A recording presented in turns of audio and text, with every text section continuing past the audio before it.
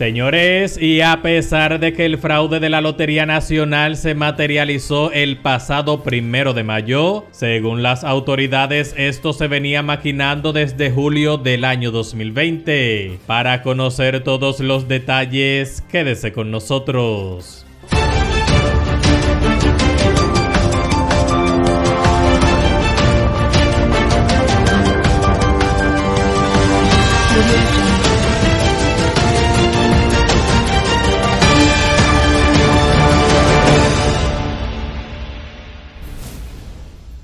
Estamos agradecidos con cada una de las más de 56 mil personas que han pasado a formar parte de esta gran familia. Si usted que está viendo este video aún no se ha suscrito al canal, te pido que lo hagas ahora en el botón rojo que está aquí debajo, ya que de esa forma nos estarás apoyando como medio de comunicación independiente y además podrás recibir una notificación cada vez que subamos un video si haces clic en la campanita que está aquí debajo. Muchísimas gracias. Hola, ¿qué tal amigos? Luis Maisichel Dicen y William Lisandro Rosario Ortiz comenzaron a tramar la estafa al sistema de juegos del país desde mediados de julio del año 2020, según recogen las investigaciones de los fiscales en la denominada Operación 13, por el amañado sorteo del primero de mayo del año 2021 en la Lotería Nacional. Las investigaciones han documentado que Dicen y Rosario Ortiz son buenos amigos con experiencia en materia en manejo de bancas de apuestas en el país, en vista de que el señor Dicen fungió como vocero durante la gestión de Rosario Ortiz en la Federación Nacional de Bancas del país, FENABANCA. El Ministerio Público señala que la estafa a las bancas de lotería ha tenido un valor de 500 millones de pesos y parte de las revelaciones hechas por el Ministerio Público es que algunos de los detenidos se asociaron con varios meses de antes anticipación para planificar la operación fraudulenta del sorteo nocturno realizado el primero de mayo en la Lotería Nacional. A mediados del mes de julio del año 2020, el imputado William Lisandro Rosario Ortiz se dedicó a planificar conjuntamente con los coimputados Luis Maisichel Dicent, Leónidas Medina Arbelo, mejor conocido como Nazaret, Eladio Batista Valerio, conocido como El Gago, y Felipe Santiago Toribio, conocido como Chago, el modo en que podían realizar el fraude del sorteo de la Lotería Nacional para sustraer de manera fraudulenta el dinero a los propietarios de bancas, consorcios y concesionarios de los juegos de azar en el territorio nacional y algunos países como Estados Unidos, España y Jamaica. Así lo señala el documento del caso a los cuales tuvo acceso un periódico nacional.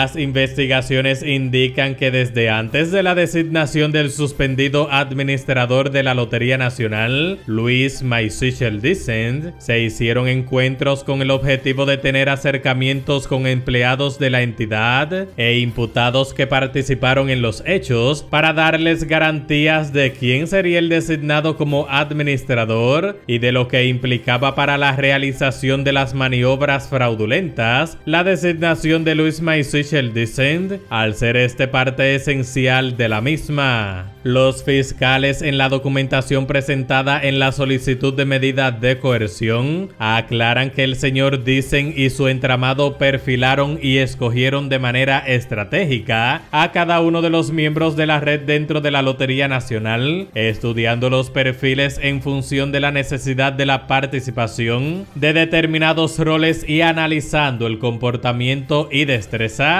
de los diferentes empleados seleccionados. En lo que respecta a los participantes externos, primó el criterio de la experiencia que tenían en los juegos de azar y su facilidad para hacer grandes jugadas sin llamar la atención. Así lo dice la solicitud de medida de coerción. Según las informaciones, luego de seleccionar a los implicados fueron realizados diversos ensayos del sorteo fraudulento grabando los mismos con el objetivo de corregir los posibles errores que se veían en los ensayos. Los implicados utilizaron bolos reales de la Lotería Nacional para realizar los ensayos del sorteo y darle mayor realidad, y también se simularon las tómbolas y se utilizaron micrófonos proporcionados por el entramado criminal, mientras que el sorteo estaba planificado para realizarse el pasado 10 de abril del año 2021, pero debido a que no fue posible colocar a los empleados de conformidad a lo planificado, el sorteo fracasó para los intereses de la estructura criminal. Los miembros de la red habían invertido fuertes sumas de dinero para el tumbe que tenían planificado, que finalmente perdieron al tener abortar la idea. Los implicados en la red hicieron cambios en el salón de sorteos para que en el siguiente sorteo participaran gran parte de los miembros de la red y la tarde del lunes el Ministerio Público depositó la medida de coerción contra Luis Maisichel Dicent, administrador suspendido de la Lotería Nacional, William Lisandro Rosario Ortiz, Valentina Rosario Cruz, presentadora del sorteo,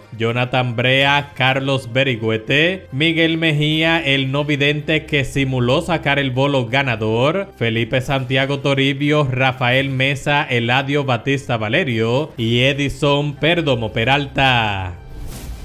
Correcta. Mostramos las manos en el globo A. Mostradas están con toda claridad. De inmediato procedemos a abrir este globo. Introducimos la mano derecha y removemos los bolos que participan para el primer premio. Bolos numerados desde el 00 al 99. Removidos ya están, mostramos las manos en este globo, introducimos la mano derecha de inmediato y extraemos el primer premio de este sorteo de la noche de tu Lotería Nacional.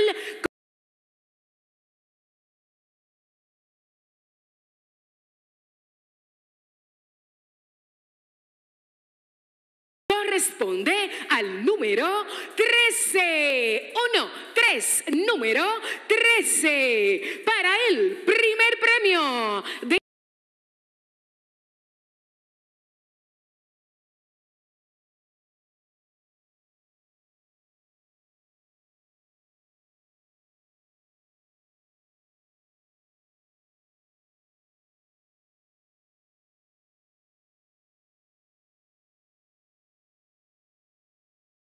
inmediato, señoras y señores, vamos al Globo B porque ahora... Recuerda que si deseas apoyar este proyecto informativo, puedes hacerlo dejándonos un me gusta y suscribiéndote al canal. Si te gustó nuestro contenido, puedes dejarnos un comentario y puedes compartir nuestros videos con todos tus amigos y familiares. Sin más nada que agregar, nos vemos en el próximo video.